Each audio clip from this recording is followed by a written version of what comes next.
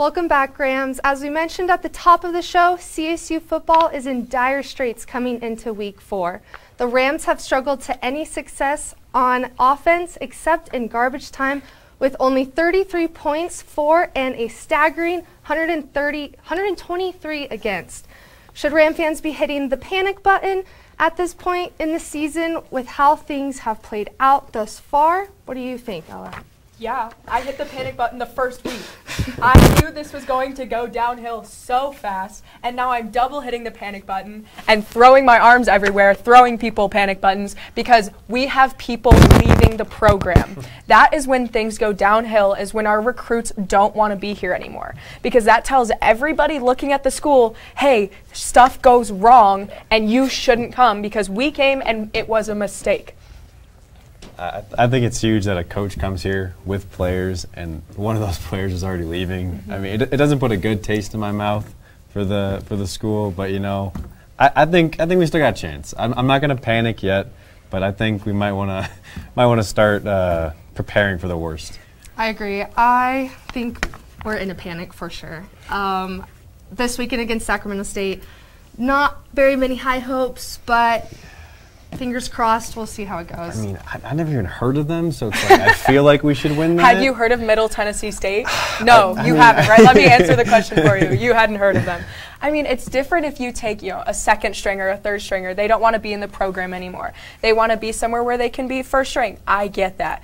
But Melquan Stovall was the only bright spot this team had in these last few weeks. Oh, the only one. And I say that with confidence because Clay Millen is a good quarterback, but we have no O line to protect him. No. Melquan Stovall can catch the ball and he can run. Those are the only two things that we need to score points. Yeah, but we still got, I mean, Tory Horton is an incredible player. And that, that, that, that, that connection is the only thing keeping me, Do you think Tory Horton is going to want to stay in this program with Melquan Stovall leaving? I mean, yeah. Why not? He's, he's getting all the touches. I mean, that's that's a wide receiver's dream is to get all, all the targets, all the catches, all the touchdowns. Like he's literally he's getting all. Make of A wide receiver's now. dream is to lose every single game by 30 points. He's no. getting his stats up. no, it's not. Because then you're that's how you don't make it to the NFL. I don't know. Those stats can prove a lot for you going to the NFL. I mean, Taylor said it at the top. We have what, 32 points towards for us yes. on offense? 33. 30, 33. Oh, I'm so sorry. 33 point counts. points for our team and 23 sacks. That on part, Clay Millen. That part hurts a lot. Yeah, I feel bad. It does, right? we are a touchdown and a safety away from being tied with sacks and points. Just towards the sacks part of it, but you know what I mean. Yeah. That should never be a stat. No, it no. should not, especially not for us. And I, I, don't think there's really much more to say. I mean, like, some people are going to panic, some people aren't, but the bottom line is we're 0 3. We're not looking good. No. That's all we know. If we go 1 and 11 and our one win is Wyoming, that's a good season. Yeah, that, agreed. I'll get rid of my panic button if that's the case. Agreed. And while we could talk about CSU football for forever, let's move on to the pros for a little bit and talk about whether we should panic about Broncos football. They had a little bit of a rocky start. They do have a win under their belt, unlike a green and gold team that we're yeah. familiar with.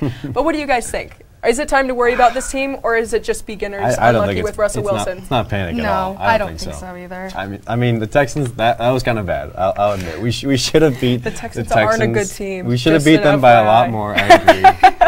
But I, I, think our defense is looking good. No, Randy Gregory's looking really good. He's looking like he's worth the money. But I, I, think we got a good team, and I don't think it's time to panic yet. Now, is Russell Wilson looking like he's worth that money? That was that big money, bucks. That money, I don't know. But he's definitely he's not looking bad, if you ask me.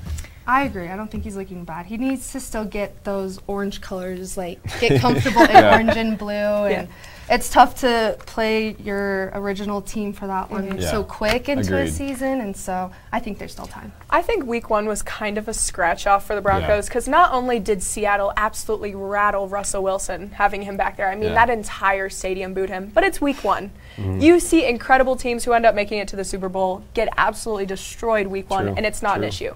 That could be the Broncos' only loss of the season. So I'm not going to hit. claim. I'm, I'm saying it could be. It could be. I'm not saying that's going to be the true case. But I'm saying, honestly, I think Russell Wilson's a good leader. He's a good quarterback. He has the weapons to do well in the season. I think it's just a rocky start. They still beat him. A win's a win. A win is a win. A win is a win. It still was not a good win.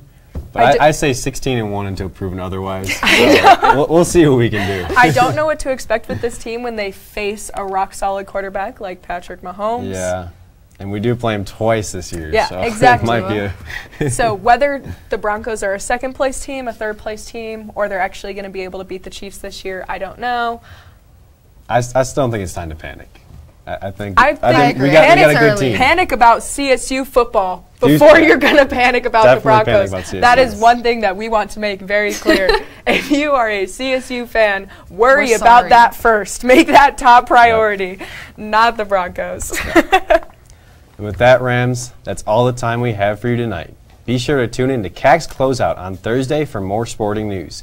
Leah will bring you a special segment on yet another never before mentioned CSU team. Thank you all so much for watching, and we hope you enjoy the rest of your night.